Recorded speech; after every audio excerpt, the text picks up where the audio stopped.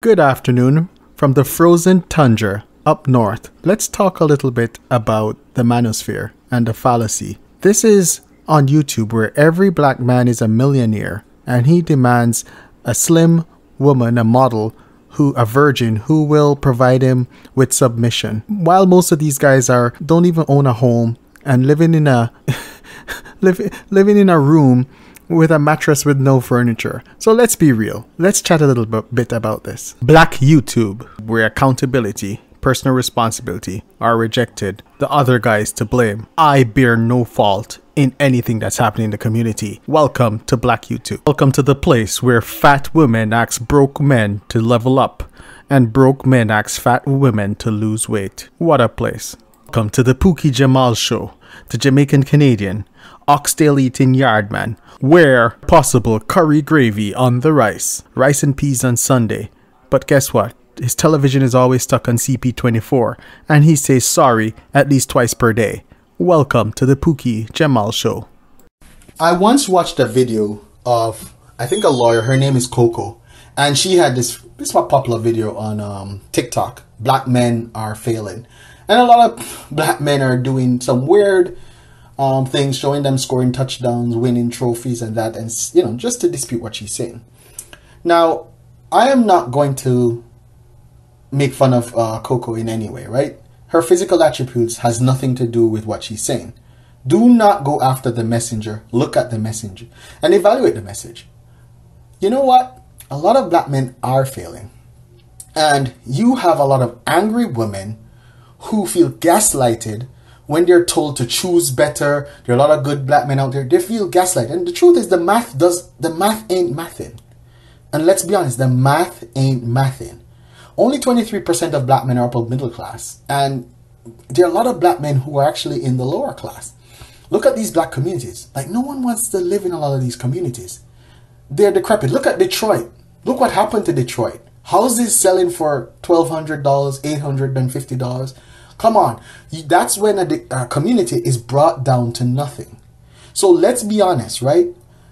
Black women have an honest grouse. And we got to understand that that honest grouse, we can't gaslight our way out of it.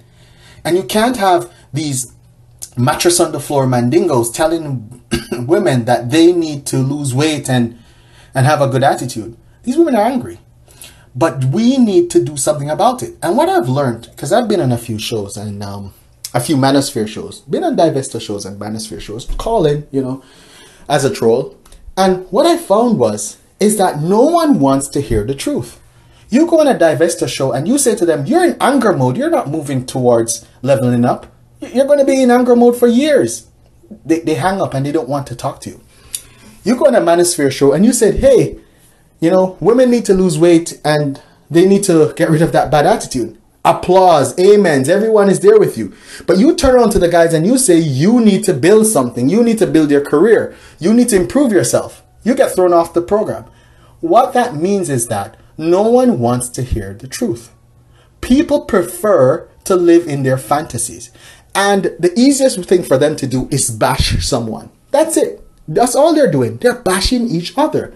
They keep bashing each other, thinking somehow that gives them brownie points. But while they're bashing each other, the community is crumbling.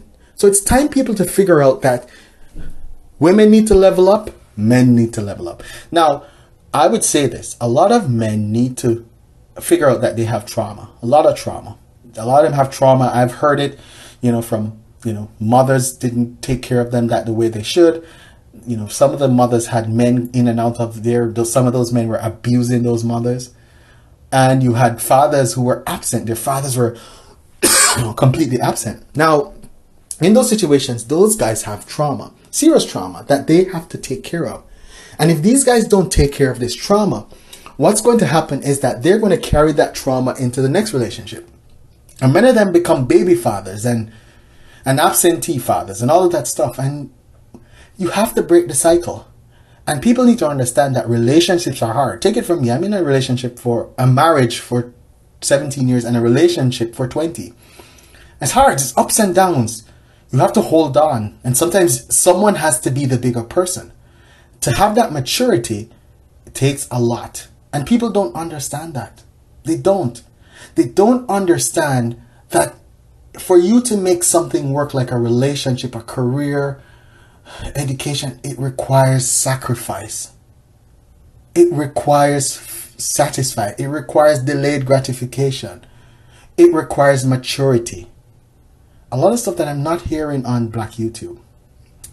Thank you. That was just my rant for the day.